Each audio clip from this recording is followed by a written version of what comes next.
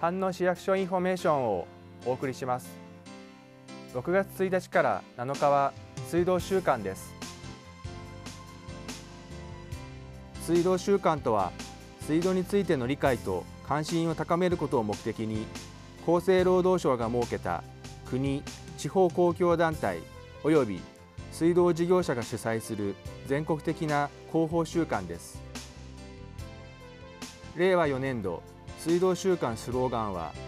大切な水と一緒に暮らす日々です。新型コロナウイルス感染症予防の観点からも石鹸による手洗いを心がけ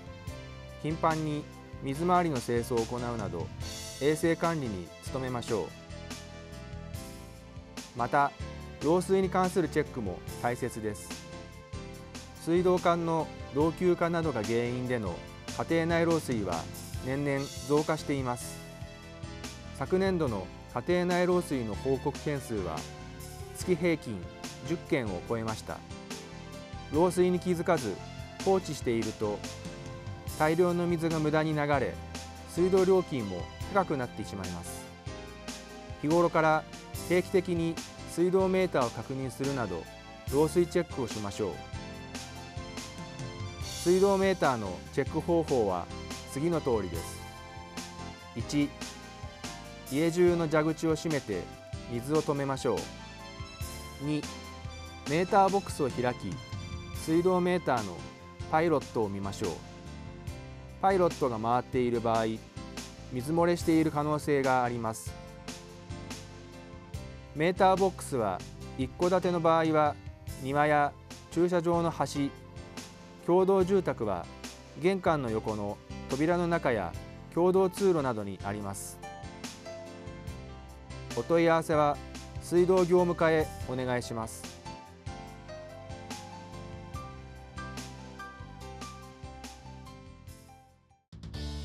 下水道デザインマンホール蓋を設置しました。5月19日木曜日に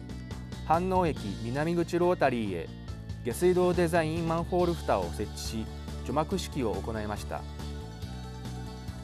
今回の下水道デザインマンホール蓋は飯能市公共下水道事業が認可70周年を迎える節目に暮らしを支える下水道の大切さについて理解や関心を深めてもらうことを目的に制作しました。シンプルながらもデザイン性のある反応の文字を鮮やかにカラーリングし丸い形を印鑑に見立てたご当地印鑑型マンホール蓋です。除幕式当日は赤いマンホール蓋を飯能駅南口ロータリーに設置した後東飯能駅東口ロータリーへ同デザインの青いマンホール蓋を設置しました。今後さらにデザインマンホール蓋を市内各所に設置していくとともに重要な生活インフラである下水道事業への理解と関心を深めていただけるよう取り組んでいきます。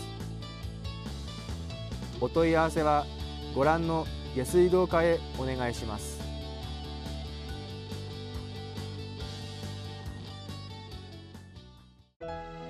発熱などの症状がある場合の受診方法についてお知らせします。発熱などの症状がある場合 PCR 検査などを含めた新型コロナウイルス感染症の診療検査が受けられる医療機関をご案内します。受診の際は必ず医療機関へ事前に予約をしてください。PCR 検査などを含めた新型コロナウイルス感染症の診療検査が受けられる医療機関はご覧の通りです。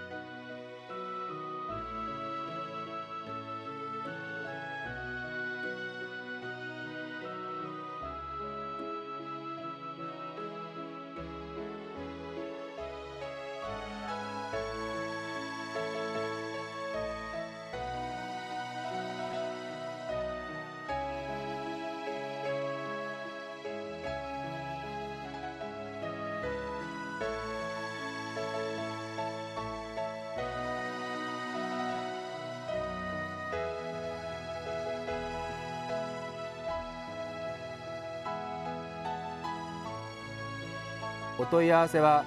ご覧の健康づくり支援課へお願いします。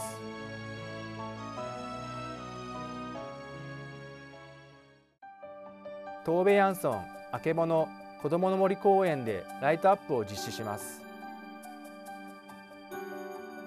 東米アンソンあけぼの子どもの森公園のライトアップは森の住処に灯る明かり豊かな闇を感じる時間をコンセプトにただ照らすのではなく個性的な建物や周囲の自然すべてが闇と調和して昼間とは違った美しく幻想的な公園となるよう照度や照明の設置方法も工夫しています。また木を直接飾るランタン照明を用いたり心ゆくまでくつろいでいただけるよう月をイメージした丸型の光るベンチを設置したりライトアップにとどまらず訪れた方全員に公園で過ごす時間自体を楽しんでいただくことを目指しています。公園の最新の開園情報はホームページまたはツイッターをご覧ください。